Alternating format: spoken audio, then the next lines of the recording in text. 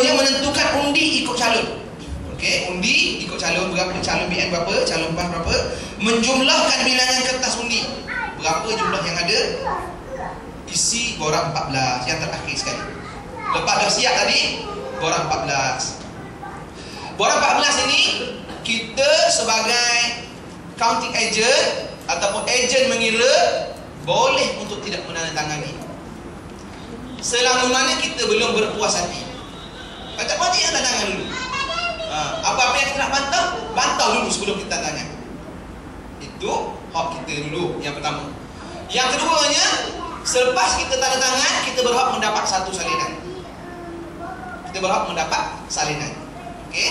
Kerana seperti dalam kes yang cerita tadi Keluar tanpa salinan Keluar tanpa bawa apa-apa Keluar, ye, kita dah menang. Eh, kita menang lah kat sini, kita menang kat sini. Keluar tapi tak bawa apa-apa. Mana tu? Tak ada Tak ada Maknanya Nanti kalau dia buat pengisyaharan yang berlawanan Apa kita nak buat? Tak ada bukti. Bantahan boleh dibuat tapi Maknanya kita telah gagal. Jadi pacar Pacar yang sengkit. Pacar yang sakit. Memang tak patut ada sebagai pacar Okey. Jadi itulah antara beberapa perkara. Dalam mengundi ragu tadi saya sebut pendapat uh, ejen mengira dikira yang keduanya niat uh, pemilih, yang ketiganya keputusan KTM adalah seragam dalam semua keadaan. Keputusan KTM adalah seragam. Maknanya kalau kes tadi pangkah tadi tu banyak dalam PAS sikit dalam BN dia adalah PAS dalam kes yang lain pula dia banyak dalam BS sikit dapat seragam. Tapi kita sebagai baca diam je lah. Atau kita eh uh, tolak tolak. Tapi nampak sangatlah kita macam agak betul lah kan tapi secara politiknya kita buat lah sebab al-harbu khidam. Peperangan itu adalah satu tipu daya. Kalau dia tak mantap, kita lah menang. Kadang-kadang uh, eh, KTM pun tak lah tu sangat. Kan? Dia pun kalau dia sokong kita lagi lah dia tak, tak peduli kan. Jadi kita gunalah kesempatan. Cuma boleh berlaku ulang kira. Okey. Ulang kira ini yang kita nak kata tadi, jangan tanda tangan sehingga kita puas hati. Borang 14, jangan tanda tangan sehingga kita puas hati. Salah satu kriteria kita tanda tangan ialah kerana bilangan uh, perbezaan undi majoriti dengan undi apa ni uh, dua yang tertinggi kalau ada tiga calon dua yang tertinggi lah. kalau ada dua calon saja majoriti dua itu uh, kalau ikut uh, kita punya standard ni 4% 4% kan 4% Dr. Zul kalau ikut standard ni 4% kan sebab saya tengok dalam satu tu dia tulis 2% Eh? Oh, yang baru 2%. Okey. Jadi yang terbaru mungkin 2% tapi yang lama 4%. Jadi dalam 400 tu kita kira lah. Kalau 5000 dia punya uh, apa ni? Majoriti dia 5000 perbezaan undi dia 200 eh 5000 macam ni. Uh, apa ni? Undi yang dia dapat tu 2 uh, 4% itu ialah 200 uh, daripada 5000. Kalau 5000 orang dia adalah kurang daripada 200 ataupun ke bawah 200 190 150 50 Majoriti yang dia dapat tu 50 Maka dia bawah daripada 4% daripada beza Maka kita boleh minta undian semula uh, Undian semula, kiraan semula Di mana kiraan semula tadi Yang rasa akan diketepikan? Sebab itu kita kena fight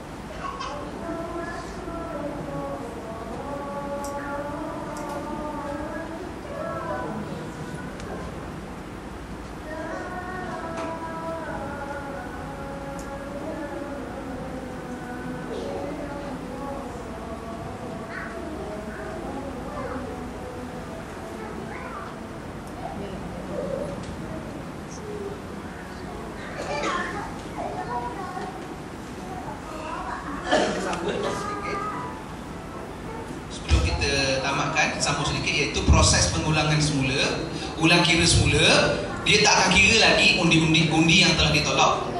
Maknanya kotak yang ditolak ni akan kita tepikan langsung. Di mana proses yang pertama tadi akan bermula semula dia akan campurkan ragu PN PAS akan masuk kotak balik dia akan tunjuk balik. Satu-satu. Baru dia akan kira. Maknanya akan proses yang pertama tadi berjalan dengan menolakkan yang rosok awal-awal tadi dah tak kira. Sebab itu sebelum masuk rosok kita lawan. dulu sekali dah masuk rosok dah tak ada peluang Okey, selagi tak masuk rosok kita boleh kata ragu, ragu. Macam mana kita lawan ni? Ragu. Kita sebutlah. Niat dia nampak jelas. Walaupun dia ada tanda begini tapi niat dia memang nak dipas. Kita pandailah putarkan macam mana. Walaupun dia nama belit sekalipun, putar dan belit sekalipun kita gunakan untuk menerangkan bahawa dia adalah uh, nak mengundi kita supaya masuk dalam ragu sekurang-kurangnya. Sebab ragu ada peluang untuk dikira semula. Tapi kalau dah masuk rosak, tidak ada peluang lagi untuk dikira semula dan pengiraan semula hanya berlaku sekali sahaja dan dia dibuat selepas daripada pengiraan yang pertama tadi dan tidak dibawa ke tempat yang lain. Dibuat dekat sini juga. Kita minta dibuat di sini. Mungkin dia kata kita buat tempat lain tak boleh. Di sini juga sebab boleh jadi dia akan ditempel kalau dibawa keluar. Jadi kat sini juga dibuat. Selesai di sini juga sebab selepas selesai ini keputusan yang terakhir itu barulah kita tentang 14 barulah kita keluar dengan orang 14 Okey, ada soalan? Tak? Sila. Yang yang pi macam kes bertukar tong tu saya ada ada dia memang ada perlu tu kan kaki kita boleh mengekori kalau macam kes tambah tu. Rawak dia orang pergi mengangkat dengan heli kita nak mengekori. Macam mana? Nanti dia buang kan dalam okay. lewat anti tong kan sebab itu dalam kes ini dia buat pengiraan di tempat pengundian. Ha, dulu pengiraan dikumpulkan di tempat penjumlahan. Dia ada tempat penjumlahan. Dia undi tempat lain, penjumlahan tempat lain. Tapi sekarang dia buat di tempat pengundian dikira di situ juga, ditanda tangan di situ juga 14. Yang pada itu 18. Nyawa dia sebenarnya 14. Okey itu je. Jadi kalau dia buang ke apa tu dah tak peduli dah. Tong itu lagi, tak tak relevan lagi dah. Yang relevannya adalah 14.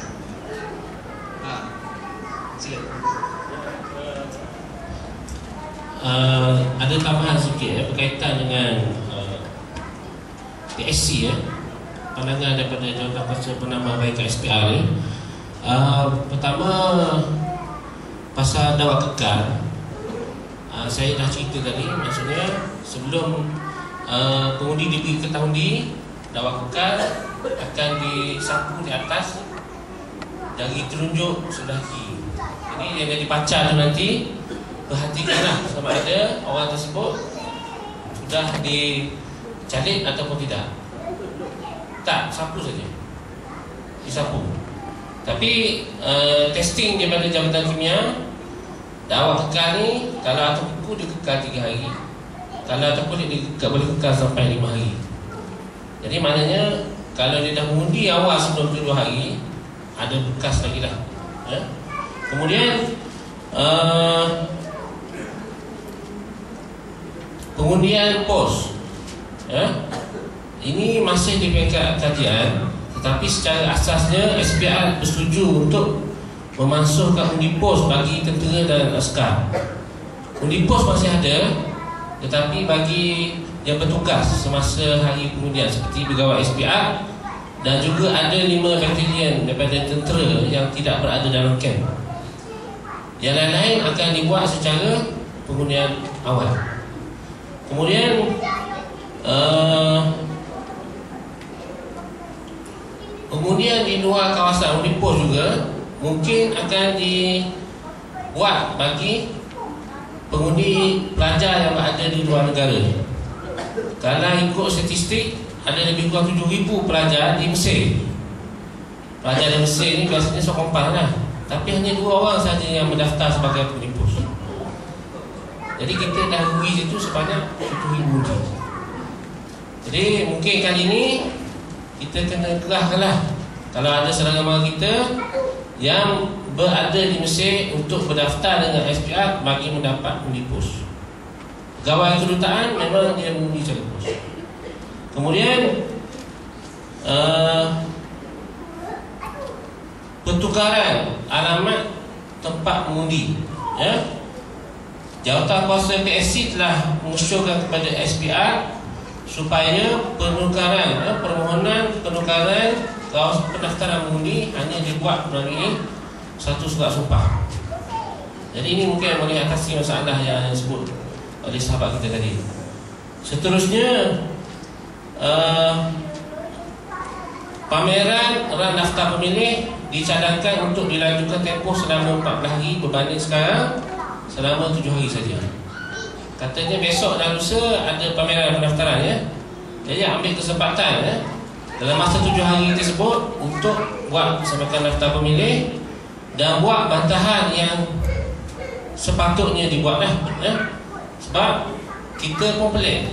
Kenapa sebelum ni UMNO Barisan Nasional sangat tidak bersetuju dengan undi dawat kekal. Tiba-tiba bila bila dibawa kepada PSC UMNO dan Barisan Nasional boleh bersetuju. Jadi kita jaga mungkin nama-nama orang pengundi-pengundi yang palsu ni telah dimasukkan dalam buku daftar pemilih. Ya ada orang yang seperti Myanmar, Nepal, Indonesia dan sebagainya. Kalau dah masuk dalam buku daftar pemilih dipamerkan tak ada bantahan diterima maka senaik itu akan digunakan. Ya jadi kita sudah tak ada uh, tempat lagi untuk mengadu pada hari undi jadi kita guna kesempatan betul-betul kemudian uh, dijaga getah undi ya. Getah undi biasanya ada nombor siri. Kali ini Nombor siri di atas kertas undi yang diserahkan kepada pengundi akan dipadamkan hanya atas counterfoil ya. buku dalam buku yang diceraikan itu saja. Counterfoil itu saja yang ada nombor siri dan ada caranya supaya SPR dia koyakkan tu secara berasingan maksudnya bukan ikut nombor siri. Satu, dua, tiga tak ada. Bila masuk pengundi pertama dia koyak buku yang pertama Undi kedua koyak buku nombor dua. Tujuannya untuk supaya Menghapuskan keraguan Kepada pundi-pundi bahawa Kerajaan masih lagi boleh monitor Dia undi Itu saja. Kemudian uh, Yang mengiringi orang-orang upaya tadi Sebelum ni kita saudara Kemungkinan akan diubah juga semua yang berumur 21 tahun. Tak kira saudara ke, kawan ke, jiran ke Boleh jadi Pengiring bagi orang-orang kaya Ya? Itu ada cadangan. Tapi belum belum belum dikesekkan lagi ya. Yang seterusnya proses Ulang kira ketahuan Sama saya sebut tadi 4% ya 4% tu di pusat Pengundian Kalau ada berbeza 4% Boleh memohon untuk Dikira semula. Ada cadangan baru. Selain daripada 400 apabila jumlah ya di, di, di apa ke bawah 14 itu dibawa kepada pusat penjumlahan dikira ada beza undi 2% maka tong yang telah dikira tadi itu akan dibuka balik ha? tong yang dibuka tadi akan dibuka balik dan dikira semula di pusat penjumlahan ha, jadi maknanya kita balik macam dulu lah ha, kena kawal lah. Maknanya uh, dewan tu tahun-tahun dia tu kena kawal. Ya? Uh, jadi, saya, saya tak tahu sama ada dia akan kuat kuasa atau tidak untuk PRU 13 ni. Tapi ada cadangan daripada TSC untuk untuk untuk buat yang yang sebegitu dan akhir sekali hanya ketahuan yang bertanda pangkah saja yang akan diterima sebelum ni yang tanda naik asalkan ada dalam kotak pengundi siapa akan diterima tapi cadangan baru ni pangkah saja. Lain daripada pangkah akan dikira sebagai undi rosak. Jadi tolong sampaikan kepada pundi-pundi supaya pangkah saja. Jangan naik, jangan buat bulat, jangan buat kartun, jangan buat Doraemon, atas kata undi. Pangkah saja. Itu saja ya, maklumat saya. Terima kasih. Okey, apa yang disebut oleh Dr. Zul tadi ialah cadangan kita PAC. Tapi dia belum digesekkan. Tapi walau macam mana kita kena bagi perhatian lah. Lebih baik kita pangkau daripada kita tanda. Macam kita buat apa ni kita melaksanakan uh, ibadah kan. Kita keluar daripada keraguan kepada perkara yang disepakati. Keluar daripada uh, khilaf kan. Uh, kita keluar dari khilaf, jangan ambil khilaf. Jadi yang tanda right tu adalah khilaf. Yang tanda bunga tu adalah khilaf. Yang tanda apa-apa pun adalah khilaf. Yang tak berkhilafnya memang tak ada pakar. Jadi keluar daripada khilaf pergi kepada kesepakatan iaitu nama perpakatan. Jadi pangkau itu yang sepakat. Suruh orang kita buat pangkau tak pasal nak tanda tak ada rakyat nak tanda bunga dan apa. Apa pasal pula macam tu kan?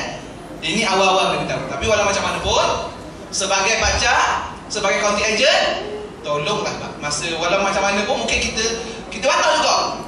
Lepas tu KDM ada dah ubah lah. Oh, minta maaf saya tak, tak apa. Walau apa-apa pun kita kita cakap. Uh, diterima, terima, pas, pas. Lepas tu KDM ada, eh sekarang hanya makau saja. Awak tak baca ke? Oh, minta maaf. Ah, tak apa. Kita minta maaf, tak apa. Jangan kita tersalah tak bantah daripada kita tersalah bantah. Kita bantah tapi ada salah, tak apa. Tapi dia ada salah, dia adalah betul, tapi kita tak bantah. Ah, itu yang bahaya.